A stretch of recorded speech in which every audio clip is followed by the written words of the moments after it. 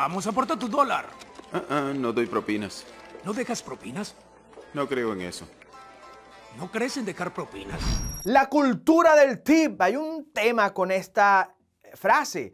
Clientes se expresan cansados según artículos de noticias debido a la saturación de solicitudes de tips en todos lados. Incluso youtubers muy famosos como Unbox Therapy se expresan sobre el tema y sobre el no tip, no trip. O sea, sin propina no hay viaje. El conductor del canal Unbox Therapy comenta sobre un video en donde drivers dejan las comidas frías por no tener propinas, pero a la vez expresa del cómo tiene que darle propina hasta a los pájaros cuando va vía su trabajo y de cómo la cultura de la propina está saturada. Se refiere al tema como estructura del tip por kilómetro.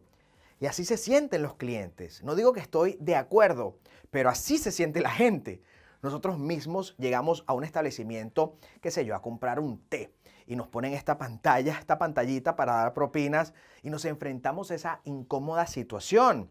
La persona del establecimiento escaneó el producto y me cobró y además pide tip en la pantalla. ¿Que no es ese ya su trabajo y por eso recibe un sueldo? Debatible. El factor crisis y los precios de las aplicaciones también juegan un rol importantísimo las aplicaciones están cobrando demasiado en, los fees y son, por supuesto, los precios increíblemente altos y al cliente no le provoca dejar una propina cuando está en el checkout. Por ejemplo, va a pagar una hamburguesa con una soda y unas papas y son como 45 dólares sin incluir la propina. Todo es un debate, ¿verdad? Lo cierto es que esa estructura de tips cada dos pasos nos afecta a nosotros los que sí vivimos de las propinas que no somos empleados con beneficios. Y yo no estoy en desacuerdo con los, con, los empleados eh, y que a ellos se les dé tips, pero estos sistemas actuales no ponen la decisión en manos del cliente, sino más bien como que lo presionan. Ahora, hablando específicamente de los drivers de delivery, ¿cómo sabe el cliente si el driver es W2 o 1099, empleado con sueldo y beneficios o contratista independiente que vive de las propinas? Cuando mezclas a los clientes que no saben con los que no quieren dar propina por lo caro del fee, por, porque, uy, las aplicaciones están cobrando mucho y, y también con los que no quieren dar propina, esto resulta en lo que vemos actualmente, propinas muy bajas o hasta cero dólares de propina.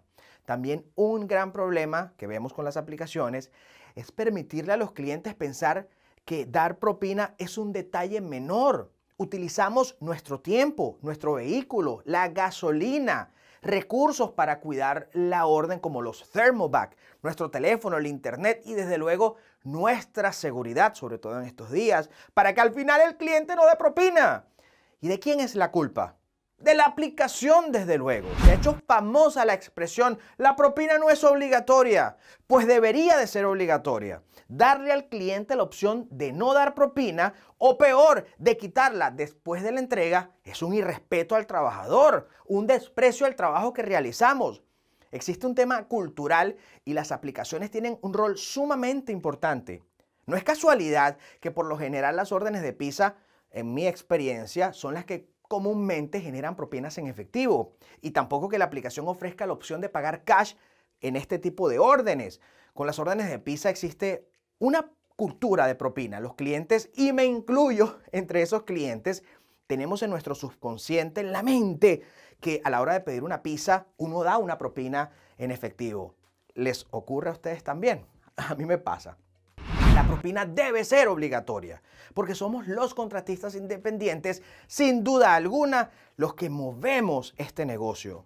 ¿Cuál es el argumento de los que piensan que la propina no es obligatoria? Pues que se está dando una propina por adelantado, sin antes disfrutar del servicio. Y este no es un argumento descabellado, pero una solución, y yo solo estoy aquí proponiendo, pudiese ser, por ejemplo, que antes de que el cliente pueda modificar o retirar completamente la propina, se le hagan tres simples preguntitas. ¿Recibió usted la orden, sí o no? ¿Recibió la orden completa, sí o no? ¿La recibió a tiempo, sí o no? No, bueno, comuníquese con soporte y que sea soporte luego de su comunicación con el driver quien decida si se puede o no retirar la propina.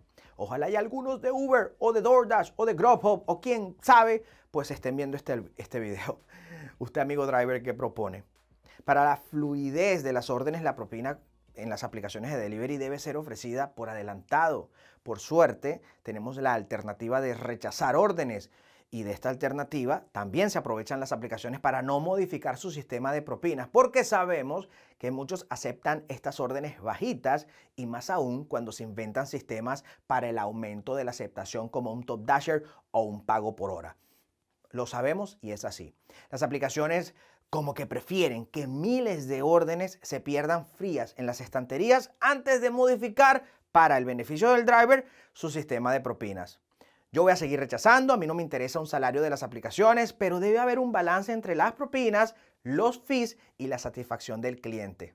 ¿Usted qué opina? Comente, le leemos y bueno, les dejo acá con un video en donde seguro nos encontramos y continuamos conversando.